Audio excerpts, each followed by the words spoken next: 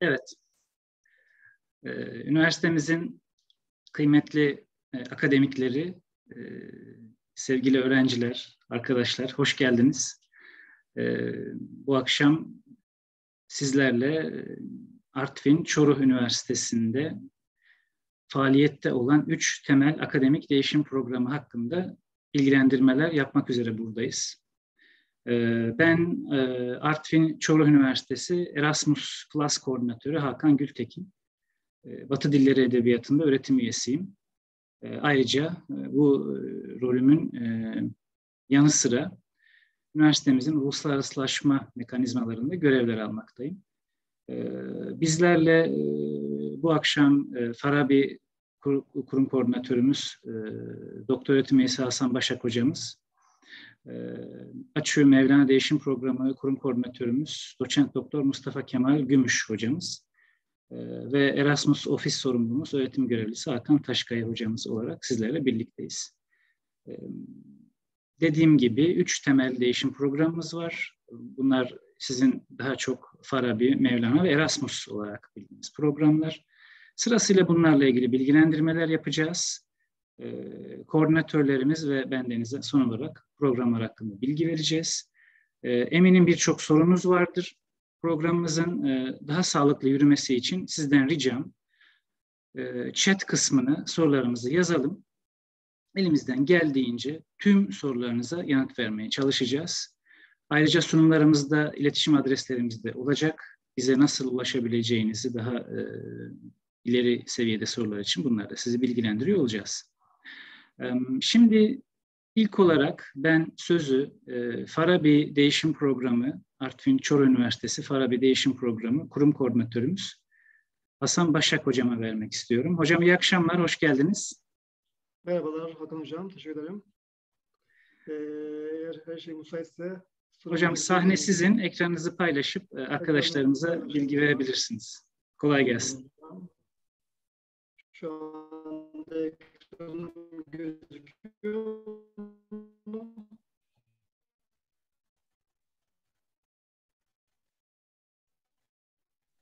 Hocam ekranınız gözüküyor. Sizin bağlantınız biraz yavaşladı. Burada mısınız? Gözüküyor mu hocam? Görünüyor. Bakın hocam. Ee, hocam ben, bizi duyuyor musunuz? E, Farabi Kurum Koordinatörü Doktor Öğretim Evet, şu anda duyabiliyorum. E, Farabi Kurum Koordinatörü Doktor Öğretim Üyesi Başak. Öncelikle hoş geldiniz. E, ben bugün sizlere Farabi Kurum e, Farabi Değişim Programı hakkında bilgi vereceğim kısaca. E, Farabi Değişim Programı nedir? Farabi, e, amacı nedir Farabi'nin? E, burs miktarı ne kadardır? Gibi konular hakkında bilgi vereceğim. Ee, Arabi nedir? Ön lisans, lisans, yüksek lisans düzeyinde eğitim öğretim yapan yüksek öğretim kurullarının bir veya iki yıl yarı yıl süresince kendi kurumlarının dışında bir yüksek öğretim kurumunda eğitim ve öğretim faaliyetlerine devam etmeleri amaçlamaktadır. Başvuru koşulları nelerdir? Ön lisans ve lisans öğrenciler için akademik not ortalamasının en az 2.00. Yüksek lisans ve doktora öğrenciler için akademik not ortalaması en az 2.50. Hazırlık sınıfı öğrencileri, tutuklu ve hükümler bu programdan faydalanamazlar. Öğrenci burs miktarı, e, burs miktarı her yıl YÖK tarafından belirlenir. E, bundan önce yaklaşık olarak 2400-2500 liraydı geçen yıllarda. E, bu burs miktarının e, %70'lik kısmı 4 ay süreyle aylıklar halinde ödenir. E, burs tutarının %30'luk kısmı ise yüz dönemi başarı durumuna göre hesaplanarak ek, tek seferde ödenir. Başvuru zamanı e, 1 Mart 15 Mart tarihlerinde gidenden önce başvuru yapılmaktadır. Başvurular güz veya güz artı bahar dönemi olmak üzere yılda bir defa yapılabilir. Farab değişim programıyla ilgili YÖG'ün kararı Yükseköğretim Yürütme Kurulu'nun 8 e, Aralık 2021 tarihinde ki toplantısında 2022-2023 eğitim öğretim yılında mahsus olmak üzere para değişim programının yapılmaması kararı alınmıştır. O yüzden bu önümüzdeki Mart e, ne yazık ki başvuru alamayacağız. E, daha fazla bilgi ve güncel bilgileri Farabi e, Artvin Şor Üniversitesi Farabi sayfasından ve YÖK e, Farabi sayfasını elde edebilirsiniz. E, bilgilendirmem burada bitmiştir. E, e, ilginiz için teşekkür ederim. Hocam biz teşekkür ederiz. Ee, sizin de bahsettiğiniz gibi Farabi programı şimdi COVID tedbirleri kapsamında durdurulmuş durumda. Ama bu tabii sonlandırıldığı anlamına gelmiyor. Belki de ilerleyen aylarda ani bir kararla değişiklik olabilir. Öğrencilerimizi yine bu değişim programından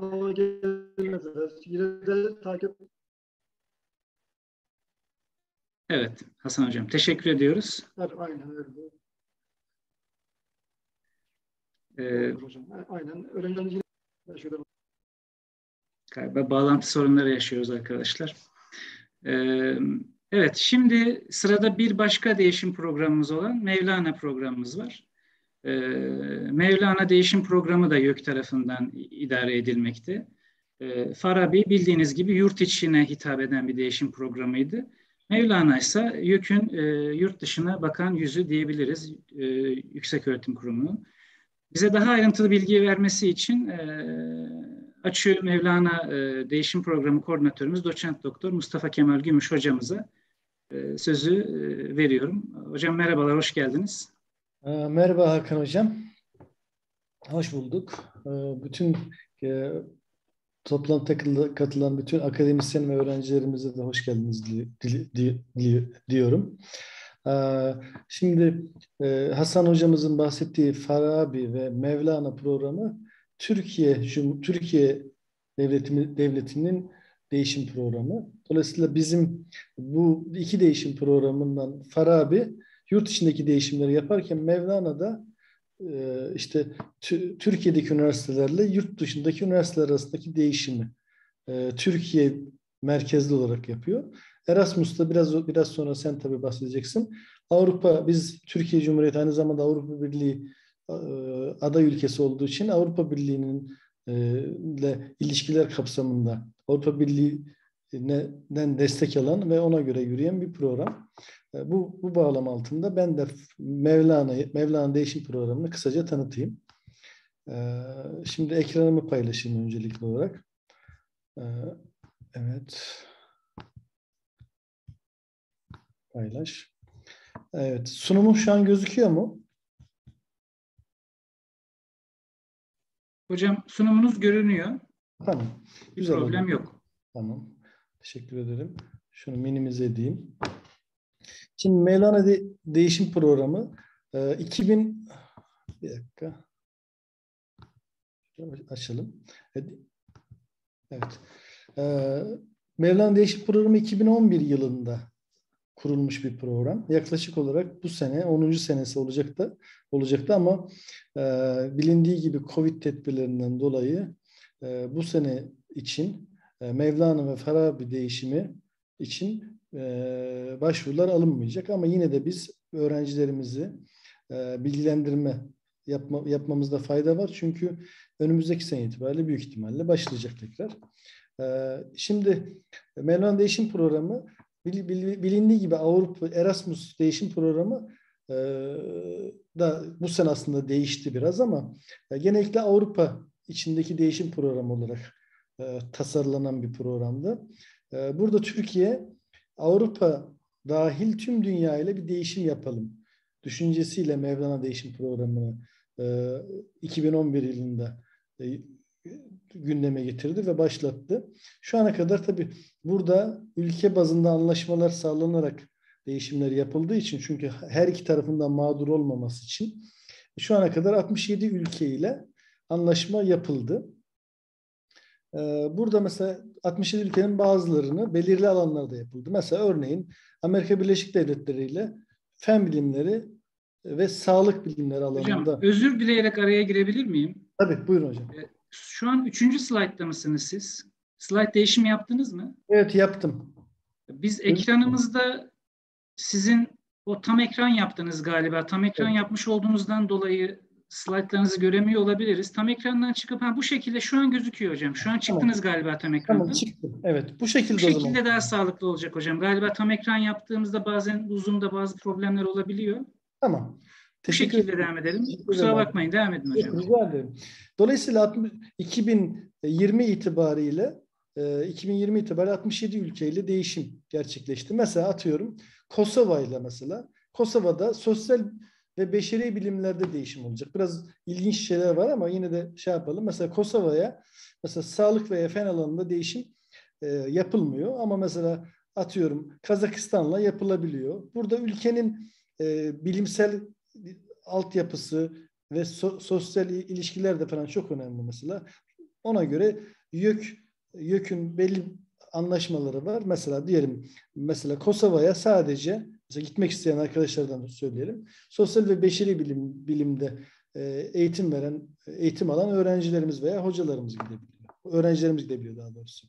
Bu, bu kadar ayrıntıya gerek yok. Lazım, lazım olduğu zaman kullanabilir.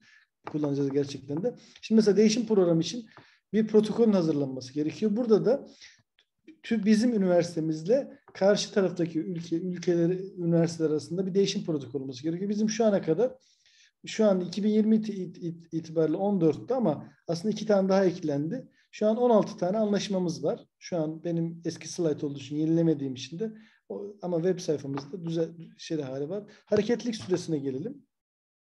Hareketlilik süresinde bu anlaşmalarda da genellikle arkadaşlar biz bu bölgeye yakın ee, Kafkasya bölgesinden yakın üniversitelerle özellikle anlaşma yaptık. Onun dışında yine Avrupa'dan da e, mesela atıyorum Romanya veya Avrupa'da bulunup da Avrupa Birliği ülkesi ile şey, ülkesi şeyinde olan Kosova gibi ülkelerle de yaptık anlaşmalarımızı. Şimdi hareketlik süresi burada e, bir dönem veya iki dönem öğrenci değişim yapabiliyor. Yalnız sadece bir dönemde dört aylığına burs verilebiliyor ikinci dönem uzatmak isterlerse eğer burssuz bir şekilde devam ediyorlar. Bu önemli çünkü.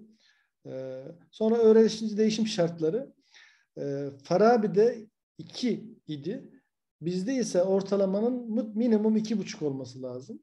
Lisans ve ön lisans öğrencileri için. Yüksek lisans doktor öğrencileri için üç olması lazım. Hazırlık öğrencileri e, bu bu sınıf bu şeyden değişimden değişime başvuramıyorlar. Ayrıca Başvuru belgelerine gelelim. Başvuru belgeleri üniversitemizin web sayfasında var. Ee, ve transkript ve başvuru belgesiyle başvuruyorlar. Başvuru başvurularımız. Başvuru değerlendirmesini biz bütün başvuruları alıyoruz, sıralıyoruz ve bunu YÖK'te yani çünkü Yüksek Öğretim Kurumu tarafından koordinat edildiği için YÖK'e yolluyoruz. YÖK'te onaylanan başvurular ilan ediliyor.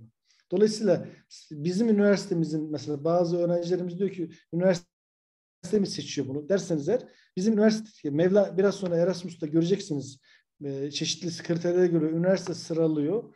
E, başka bir yere bildirmiyor ama bizde başvurular YÖK'ten en sonunda onay geliyor. Böyle bir e, mantalite farkları var. Farabi, Mevlana ile aynı mantalite var ama Erasmus'ta biraz mantalite farklı. İletişim bilgilerimiz de arkadaşlar hem e, YÖK'teki iletişim bilgilerini hem üniversitemizdeki iletişim bilgilerini sunduk. Şu an için biz rektörlük binasının da bulunduğu Orman Fakültesi Seyitler'de işte bulunuyoruz. E, mailimiz Acı Mevlana Artvin Editör'e telefonumuz e, bu dahiliye 36 36 252'den ulaşabiliyorsunuz. E, katılımınız için Teşekkür ediyorum. Ben şu ana kadar söyleyeceklerim bu kadar. Ee, paylaşımı, ekip paylaşımını durdurabilirsin. Durdurayım.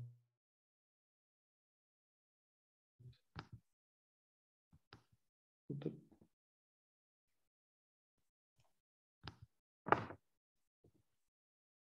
Evet, hocamıza teşekkür ediyoruz arkadaşlar. Ben, ben teşekkür ederim. Benim şu an ekran paylaşımım durmamış olabilir.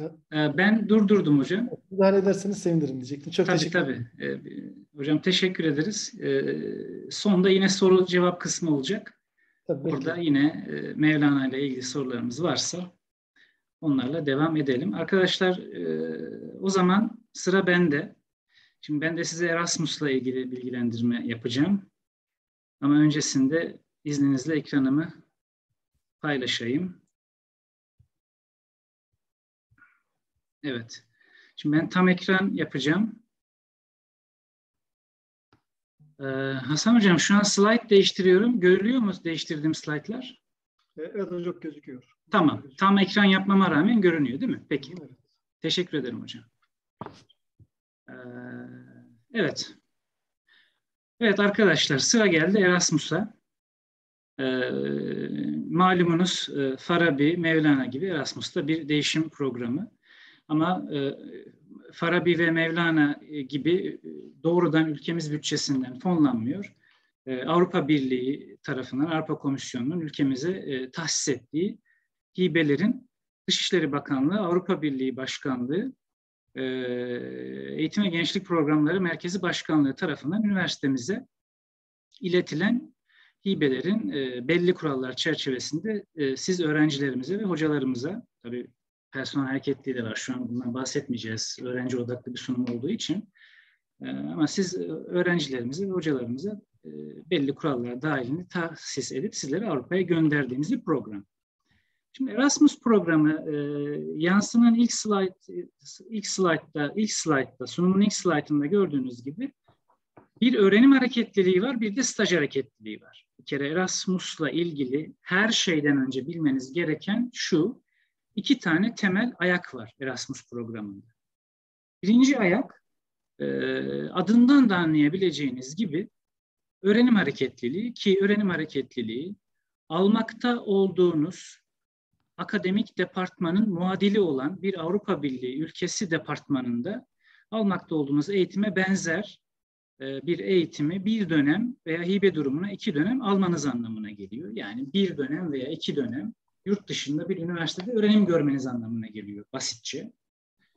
Staj hareketliliği ise arkadaşlar yine adından da açık seçik anlayabileceğimiz gibi e, yaz dönemlerinde, okulun olmadığı dönemlerde diyelim daha doğrusu, okulun olmadığı dönemlerde yine almakta olduğunuz akademik eğitime istinaden bir staj hareketliliğinde, bir staj faaliyetinde bulunmanız anlamına geliyor. Yani özetle iki temel ayağımız var Erasmus Plus programında. Şimdi bunların detaylarına inelim. Bu iki e, programın detaylarına inmeden önce tabii ki şunların da altını çizelim. Avrupa Birliği tarafından desteklenen bir değişim programıdır ki bahsettim. E, stajdan, öğrenimden de bahsettim ama en sondaki kırmızıyla e, e, aydınlatmış olduğum cümleye bakarsanız e, Avrupa Birliği ülkelere gidebilirsiniz demiştik ama ayrıca Erasmus programıyla Norveç, İzlanda, Liechtenstein, Makedonya ve ülkemizi çıkartıyorum çünkü oradasınız zaten. Türkiye'yi de kapsayan AB üyesi olmayan ama AB çevresinde bulunan üniversiteleri, üniversitelere de veya kurumlara da Erasmus'la birlikte gidebiliyorsunuz. Durumumuz bu arkadaşlar. Şimdi öğrenim hareketliliği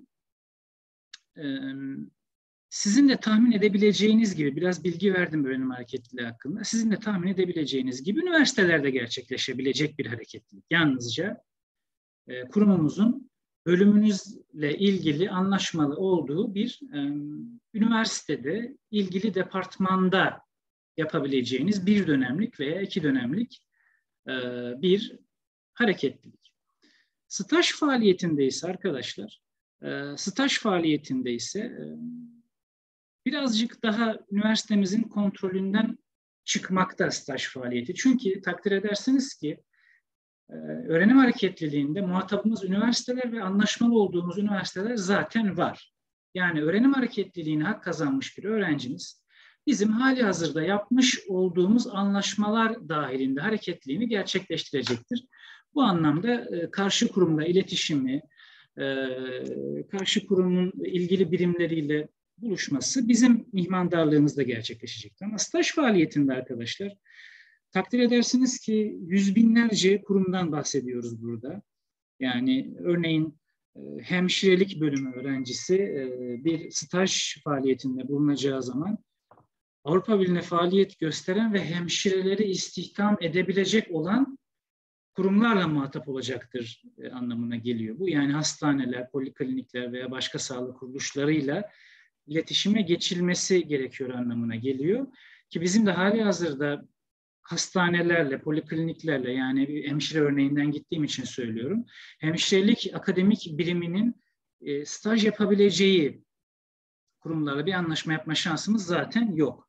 Dolayısıyla öğrenim hareketliliğinde bizler sizleri üniversiteye yönlendirirken staj hareketliliğinde bu sorumluluk öğrencimize ait doğal nedenlerden dolayı.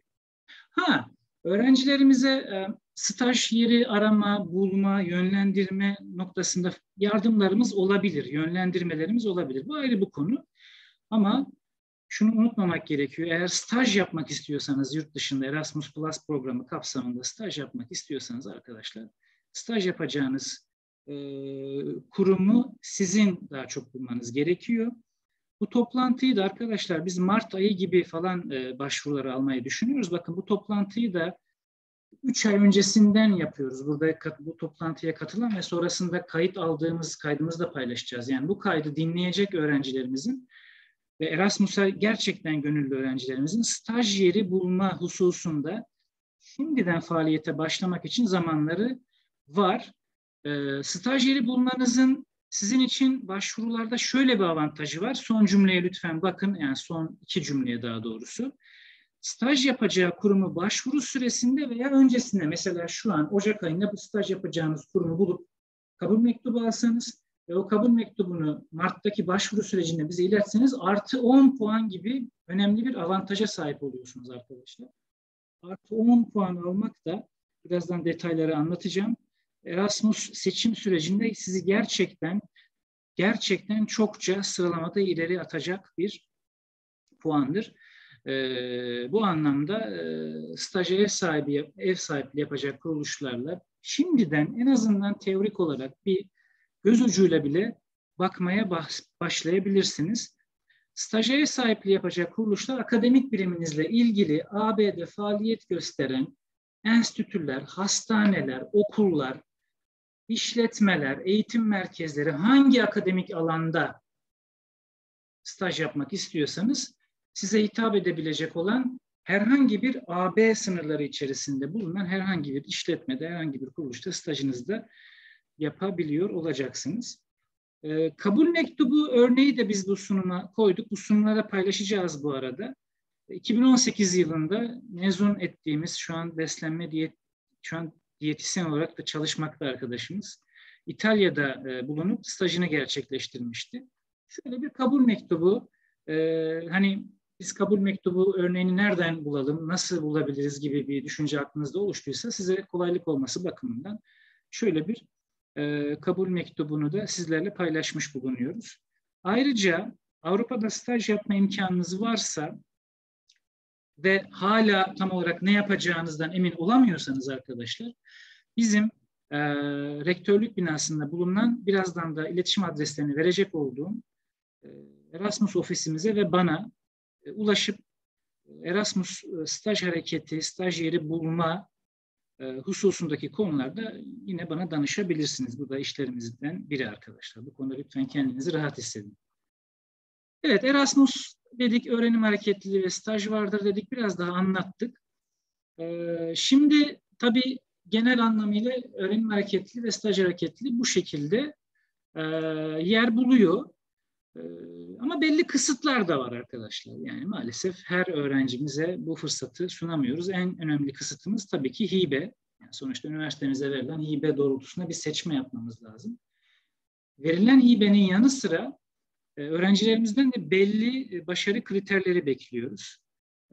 Bir kere her şeyden önce ilk maddeye bakarsanız örgün bir eğitim kademesinde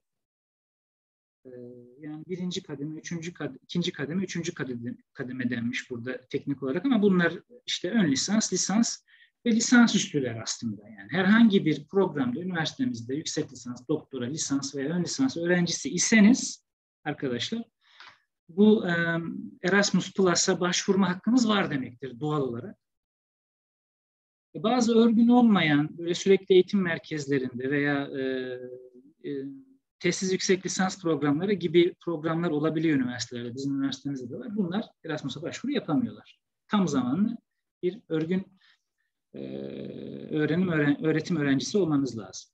Önemli kısıtlardan biri ikinci maddede göreceksiniz arkadaşlar. Ön lisans ve lisans öğrencileri e, 4 üzerinden en az 2.20 4 üzerinden en az 2.20 ortalamaya sahip olmaları lazım. Aksi takdirde sistem zaten başvurmalarına izin vermez. Küçük bir ikinci maddede küçük bir anekdot var.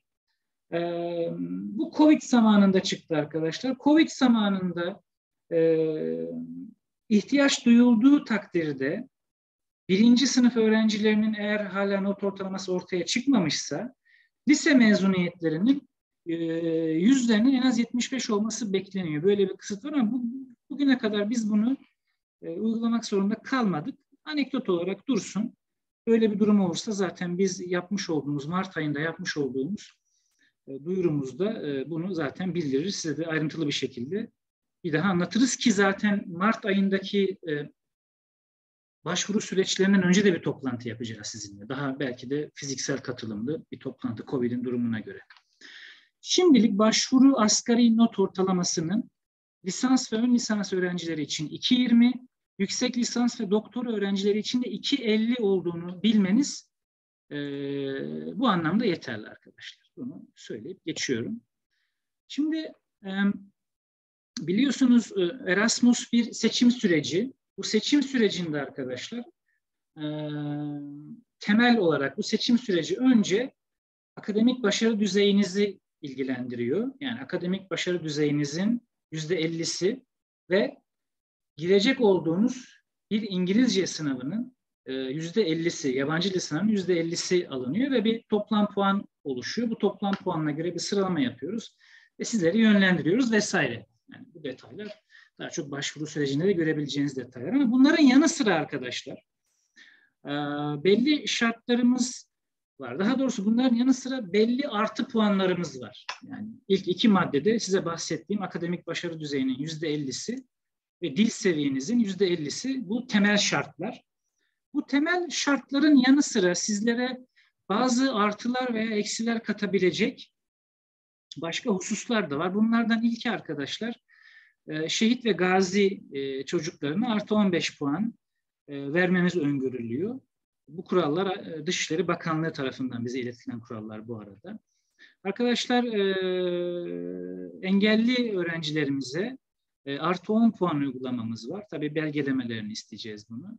Daha önce yararlanmış öğrencilerden arkadaşlar başka öğrenciler de Erasmus'tan faydalanabilsin diye eksi 10 puan uygulamamız var e, ilgili kanun kapsamında haklarında korunma, bakım veya barınma kararı almış dezavantajlı gruptaki öğrencilerimize de e, yine belli oranda katkı sağlıyoruz. Vatandaşı olan ülke, ülke hareketliğe katılma hususunda arkadaşlar eksi 10 puanımız var. Biliyorsunuz iki vatandaşlı arkadaşlarımız olabiliyor. Bunlar için geçerli. Bir de az önce uzun uzun anlatmaya çalıştım ve yine bu hususta ilgisi olan arkadaşlar bilgi vermeye hazırım staj hareketliliği başvurunuza bir tam tekmil bir yani geçerli bir kabul mektubu ekleyebilirseniz bu size artı 10 puan getiriyor ki staj hareketliliğinde bu gerçekten öne çıkaran bir uygulama. Geçtiğimiz sanıyorum geçtiğimiz yıl bunu uyguladık ve kabul mektubu bulup ön sıralara ulaşan arkadaşlarımız oldu. Yani bunu da söylememiz lazım. Yani bayağı bir işe yarıyor. Evet arkadaşlar Erasmus Plus başvuru prosedürü Mart ayında yapacağımızı söylemiştik bir aksilik olması. Belki öne çekeriz, belki biraz daha sarkar ama e, Şubat'ın sonu, Mart'ın ilk, ilk 15 gününde bu başvuruları almayı düşünüyoruz. Öğrenci bilgi sisteminizden yapılacak. Öğrenci bilgi sisteminde yer alan e, ilgili sekmeden e, başvurunuzu yapabileceksiniz. Şu an bu bilgi sistemindeki Erasmus başvuru sekmesi aktif değil. Çünkü başvuru alıyor değiliz şu an. Sizin de daha önceden konuştuğumuz gibi. E, ama öğrenci bilgi sisteminde diğer tüm işlemlerinizi yapabildiğiniz, notlarınızı görebildiğiniz, bilgilerinizi tatbik edebildiğiniz öğrenci bilgi sisteminizden Erasmus staj ve öğrenim hareketliliği başvurusunu da yapabileceksiniz arkadaşlar. Burada staj hareketliliği kalmış ama öğrenimi de yapabileceksiniz. Bir de e, yabancı dil sınavında muaf olma durumumuz var.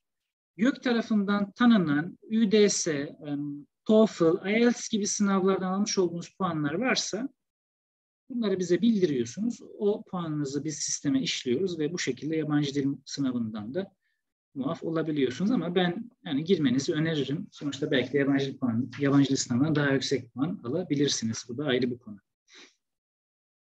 Şimdi arkadaşlar en önemli noktalardan biri eminim birçoğunuz merak ediyorsunuzdur. Ee, tabii Erasmus programı siz bizim size hibe verdiğimiz, bizim size e, oradaki öğreniminizi desteklesin diye ki çoğu zaman desteklemeyi bırakın bütün öğreniminizi bile yeterli olabiliyor. Bugünkü tecrübelerimiz bunu gösterdi bize. E, misafir olunacak ülkelere göre aylık öğrenim ve staj e, hibelerini gördüğünüz bir tabloyla karşı karşıyasınız. Yani biz size orada kaldınız aylar boyunca e, listede gördüğünüz tablodaki ülkenin hibesi ne kadarsa o kadar hibe desteğini veriyoruz. Yani üniversitemizin ilgili birimleri size ödeme yapıyorlar. Biz hesaplamalarınızı yapıyoruz. İlgili birimler, ödeme birimlerimiz, mali birimler size ödeme yapıyorlar.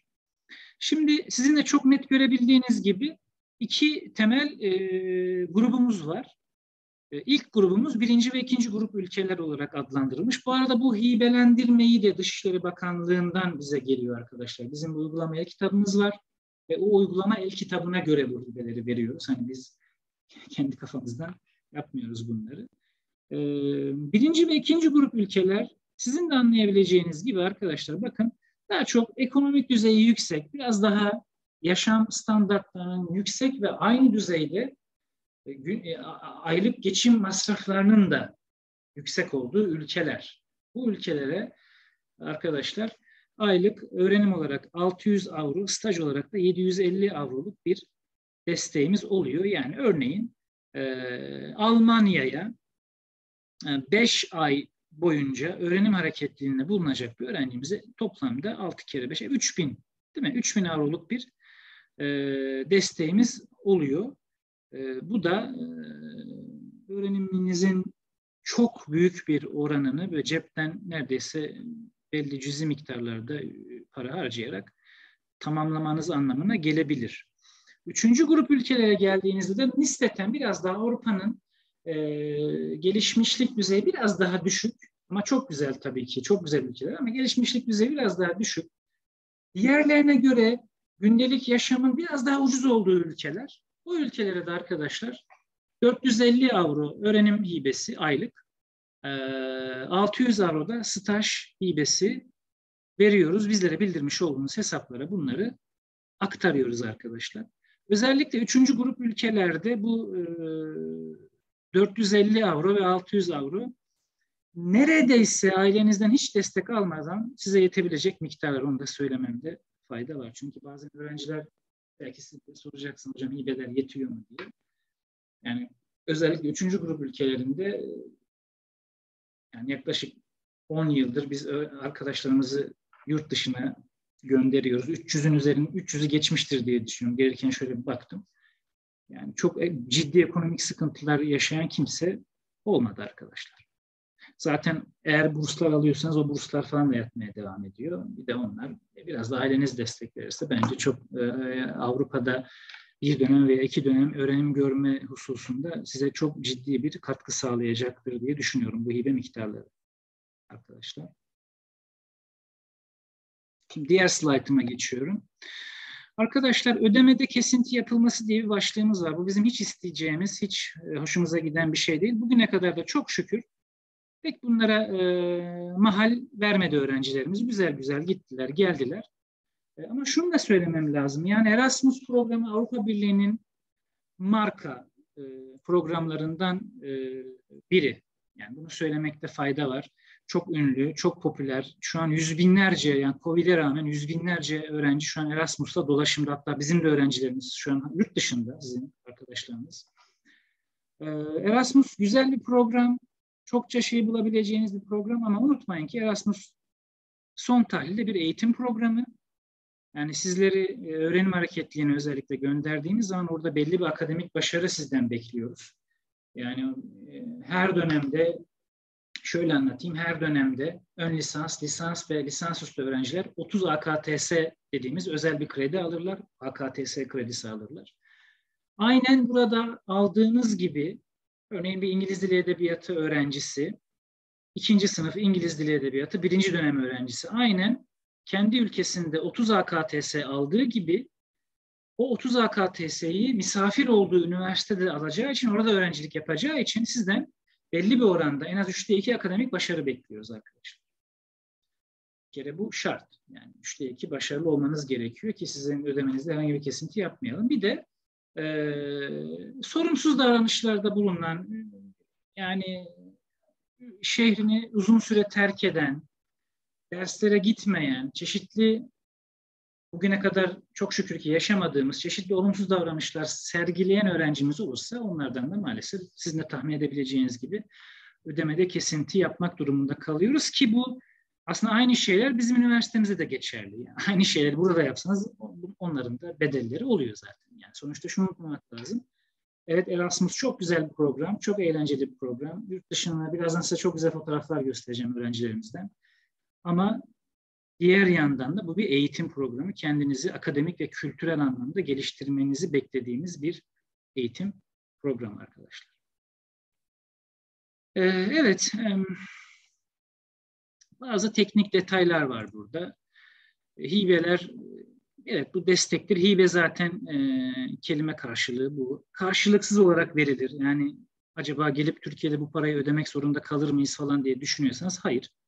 Karşılıksız bir destektir bunlar size. Ee, uçak bileti kalacak yer gibi hususlarda üniversitenin desteği olmaz ama inanın bana alacağınız hibeler hesaplarınıza geçtiği zaman fazlasıyla bunları e, zaten öncesinde bir ödeme yaptıysanız Erasmus'a hareket Erasmus'a hazırlanma hususunda öncesinde bir hareket hazırlık yaptıysanız hibeleriniz yattığı zaman zaten çokça e, özellikle TL cinsinden baktığınız zaman çokça yaptığınız masrafları çıkaracaktır. İlk etapta gitmeden önce öğrencilerimize hibenin %80'ini veriyoruz başarılı olup döndüklerinde de ya orada yapmış oldukları masraflara ek olarak yüzde yirmi bir ödeme yapıyoruz. E, bu da bir takım teknik detaylar. Bunlar daha çok öğrenim hakkını kazandığınızda veya staj hakkını kazandığınızda size detaylı olarak anlatılacak hususlar. Ama önceden bilmenizde de fayda var. Özellikle şu akademik başarı hususunu vesaire. Evet arkadaşlar Erasmus genel olarak böyle. Yani daha çok söylenemeyecek şeyler var. Ee, ama genel olarak böyle. Bir kez söyledim, bir kez daha tekrar edeyim.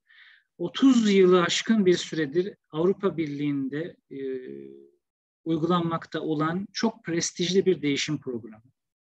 Eminim buraya katılan arkadaşlarımızın veya bu kaydı dinleyen arkadaşlarımızın ön bilgileri zaten vardır. Yani Google bir Erasmus yazıp Google'lamanız bile bir sürü bilgiyi, e, deneyimi size aktarmada faydalı olacaktır özgüveninizi, deneyiminizi, cesaretinizi arttırabilecek bir programdır. Dil yeteneklerinizi kesinlikle arttıracak bir programdır. Bir dil kursu değildir. Oraya gidip dil öğrenme olmaz ama olan dilinizi geliştirme ve tatbik etme olur arkadaşlar. Bu Erasmus'un doğasında olan bir şey. Ee, dediğim gibi 10 yılı aşkın süredir arkadaşlarımızı gönderiyoruz. Sanırım 300'ü geçmiştir rakam. Ee, bu arada bahsetmiştim Mart 2022'de alacağız ki öncesinde bir toplantı daha yapacağız.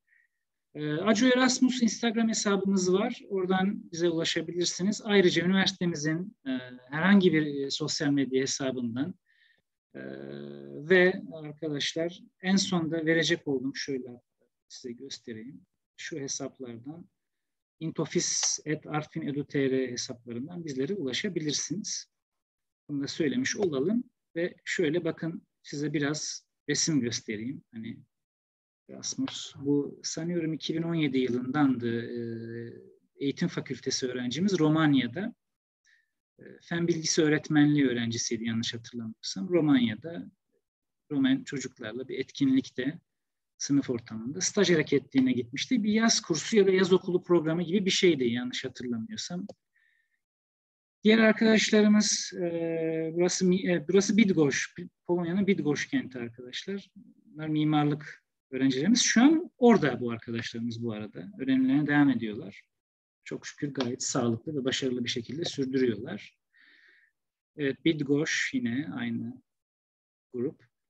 Evet, Mehmet e, Mehmet kendisi İtalya'daydı. Sassari'de e, öğrenim görmüştü. Sardunya Adası'nda turistik çok güzel bir yerde. Evet asker oldu şimdi. Okulu bitirdi. Eminim Erasmus tecrübesi ona çok şey katmıştır. Ee, bu da Ee, yine e, eğitim fakültesinden bir öğrencimiz solda İSN şeyini tutan erkek arkadaşımızın solunda e, pankartını. Maça gitmişler herhalde, maçtalar.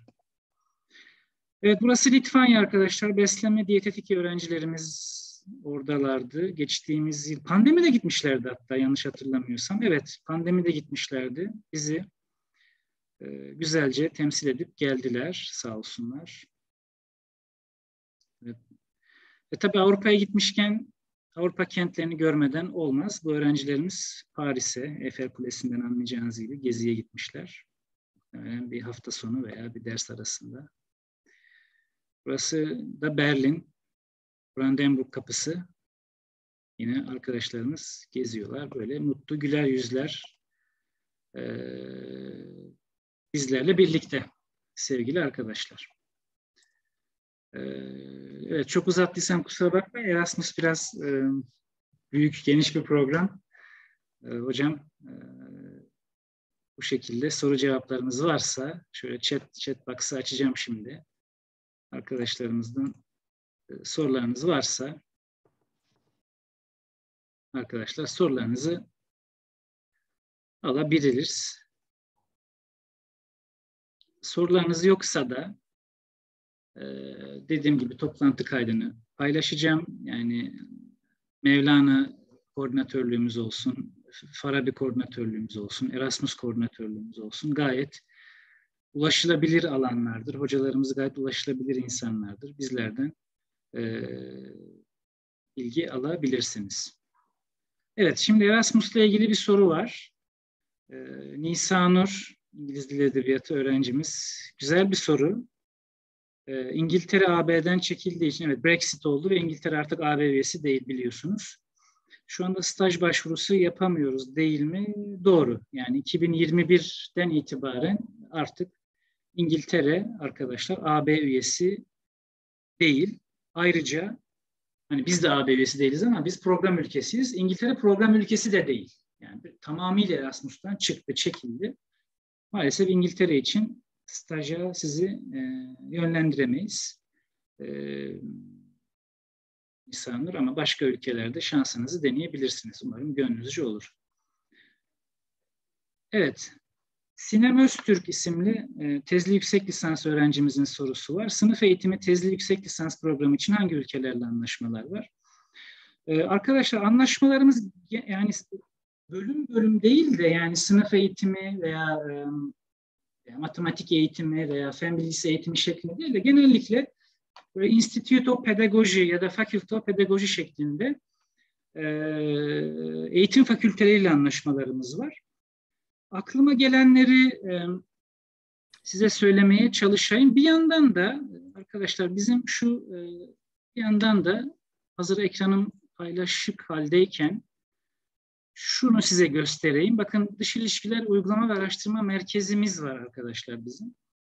Buraya girerseniz güncel bilgileri, anlaşma sayılarını, anlaşmaları, daha detaylı açıklamaları görebilirsiniz. Bakın hem Erasmus hem Mevlana hem Farabi protokoller var bakın burada. Detaylı olarak buradan da e, görebilirsiniz. Bir yandan da arkada bu dönsün. Şimdi e, ülke bazında sorduğunuz için ülke söyleyeceğim. Polonya ile anlaşmamız var. Polonya'dan üniversitelerle eğitim fakültesi için anlaşmalarımız var. İtalya'dan anlaşmalarımız var. E, hatırlayabildiklerim Romanya'dan eğitim fakültesi ile ilgili anlaşmalarımız var. Hocam bir de ilk olarak Çek Cumhuriyeti, Çekya'dan Tabii da. Çek Cumhuriyeti'nin hatta iki üniversite değil mi? Hakan Bey bu arada başta tanıtmıştım bizim ofis sorumlumuz. Hatta Çek Cumhuriyeti'nin iki üniversitemiz mi vardı Hakan yanlış mı? Evet, evet hocam. İki Çek Cumhuriyeti'nden anlaşmalarımız var. Bunlar benim ilk etapta hatırlayabildiklerim. Polonya, Romanya, Çek Cumhuriyeti, İtalya. Bunlar ilk etapta hatırlayabildiklerim. Buralara sizleri yönlendirebiliriz. Ayrıca durmadan yeni anlaşmalar da yapıyoruz. Ayrıca öğrencilerimizden belli talepler gelirse, hocam şu üniversitede şöyle bir program var, oraya bir şekilde gidebilir miyim diye, oralarda da iletişim kurmaya çalışıyoruz. Ama anlaşma şartımız var. Tabii karşı üniversitenin de bizle anlaşma yapmayı kabul etmesi lazım arkadaşlar. Maalesef öyle bir süreç de var. Yani böyle her istediğimiz üniversiteye gönderemiyoruz. Her istediğimiz ülkeyle anlaşma yapamıyoruz. Ee, anlaşma yapma süreçleri çok kolay olamayabiliyor. Bayağı bir müzakere yapmamız gerekiyor. Çünkü Avrupa üniversiteleri gerçekten Türkiye'den çok öğrenci alıyorlar. Ee, yani bir nevi böyle Türk üniversitelerinden gelen öğrencileri doymuşlar diyelim, tırnak içinde söylüyorum. Ama biz durmadan, yılmadan portföyümüze yeni anlaşmalar katmaya çalışıyoruz. Sinemanın umarım, umarım yardımcı olmuştur. Ee, daha detaylı bilgim için anlaşmalar sekmemizden bilgilere ulaşabilirsiniz. Ayrıca müsait olduğunuz her zaman bizleri ziyaret edebilirsiniz.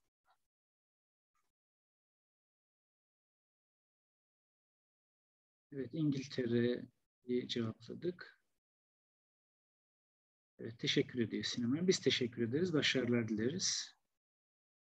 Evet, bakın kalite göstergelerimiz var, protokollerimiz var. Hocam iletişim adreslerimizi sormuşlar da bir tekrar söyleyebilirsiniz. Evet, iletişim adreslerimizi şöyle e, ne yapayım, yansıya mı geri döneyim? Ya da şöyle iletişime bassam Doğru. mesela. Evet, bakın burada uzunca bir Erasmus, Farabi, e, hatta şu linki çete atayım ben direkt. Yani buradan da herkesin görebileceği şekilde buradan da ulaşabilirsiniz arkadaşlar. Yani bir sürü telefon, bir sürü mail var. Yani birinden birinden ulaşırsınız ama biz genelde e, iletişim bağlamında e, e-postaları tercih ediyoruz arkadaşlar. Çünkü telefon gün içinde telefonlara ulaşamayabiliyoruz. Derste oluyoruz. E, Covid durumuyla uzaktan çalışma durumları falan oluyor. E-posta en iyisi. E-postalara cevap vermemezlik asla yapmayız. Şimdi hocam YDS yok dilden aldığımız puanları söylesek ince sınava girmiyor muyuz? Bize o başvuru döneminde bize almış olduğumuz puanı YÖKçe tanınan bir puanı bize ulaştırırsanız sınava girmek zorunda olmayabilirsiniz. Ee, böyle bir kolaylığımız var. Arkadaşımızın sorusu buydu.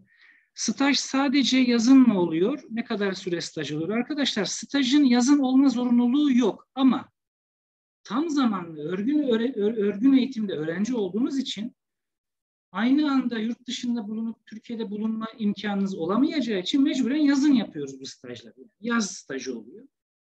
Ne kadar süre derseniz arkadaşlar yaz stajı yani genelde yaz tatilinizde işte en az iki ay veya iki buçuk, üç ay en fazla okulumuzun açılıp açılmama durumuna göre yaz stajı şeklinde oluyor daha çok yani. Çünkü e, takdir edersiniz ki kışın, kış döneminde zaten okuldasınız. Evet, Ali Mert staj başvurusu konusunun üstünden bir kez daha kısaca geçebilir misiniz diyor. Ee, rica ederim. Ali Mert, staj hareketliliği dediğim gibi yazın yapılan bir hareketlilik daha çok mecbur, mücbir sebeplerden dolayı.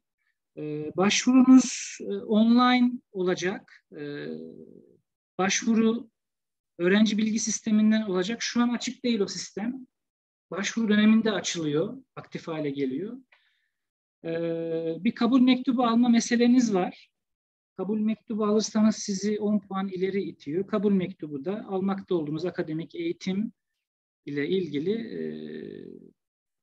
bir e, iş yerinde, işletmede staj yapmanızı öngörüyor. Bunların detaylarını yine bana uğrarsanız konuşabiliriz. Zaten kayıt alıyoruz. E, kayıt olacak ve kaydımızı da paylaşacağız. Arkadaşlar hocalarımız bahsetti, ben de bahsedeyim. Bu sene YÖK'ün aldığı karardan dolayı Mart ayında Farabi programına başvuru alamayacağız. Maalesef öyle gözüküyor. Mevlana'ya da başvuru alamayacağız. Yani Mart ayında planladığımız başvurular silsilemizden yalnızca Erasmus'u yapabiliyor olacağız. Ama dediğim gibi Hasan Hocam anlatırken de bahsettim. Karar değişiklikleri olabilir. Covid'de e, yani omikron varyantı var. Bazı kötü haberler alıyoruz ama sonuçta bunun aşısı bulundu. Covid ile ilgili ilaçlar çıkıyor. Belki durumlar ileriye gider. 2022 yılı içerisinde kararını değiştirir Belki yeni bir duyuruya çıkılır ama yakın gelecekte en azından ilk 6 aylık periyotta Farabi olmayacak gibi görülüyor arkadaşlar. Farabi ile ilgili maalesef böyle üzücü bir haberimiz var. Ankara'dan bize bildirilen haber bu şekilde. YÖK tarafından. Hocam gitmek istediğimiz üniversite ile bizzat kendi bölümümüz hakkında konuşma gibi bir durum yapabilir miyiz? Yani anlaşma sağlayabilir miyiz?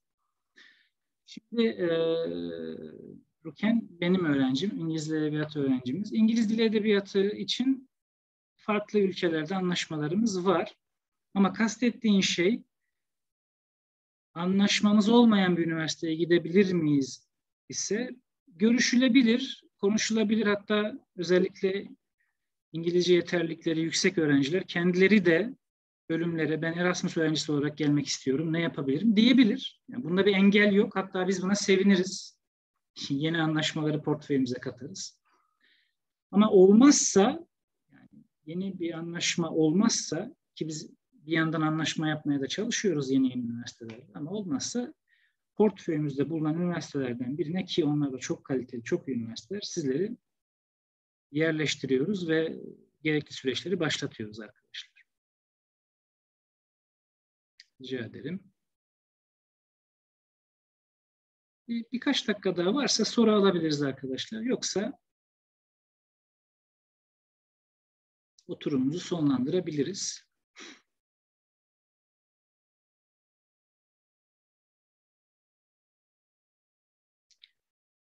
Evet. Galiba sorular bu kadar. Hasan Hocam, Mustafa Hocam, Hakan Hocam sizin son söz niyetini söylemek istediğiniz bir şey var mı? Ee, ben söylemeyeceğim. Ee, Öğrencilerimize başarı diliyorum. Ee, benim söyleyeceğim bu kadar. İyi akşamlar diliyorum herkes için. Ben de e, katılan bütün öğrencilerimize öncelikle teşekkür ediyorum ilgilerinden dolayı.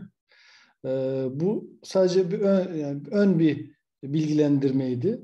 Tabii. Aslında Mart ayında bu değişim programları açılmadan önce daha ayrıntılı ve duruma göre özellikle her sene geleneksel olarak yaptığımız gibi yüz yüze toplantılarımız da olacak. Tabii o her zaman... kampüse gidiyoruz değil mi hocam? Yani evet. Merkez Kampüs, Hopa Kampüs, Boşka Kampüsü'ne gitmiştik hatta. Yani evet.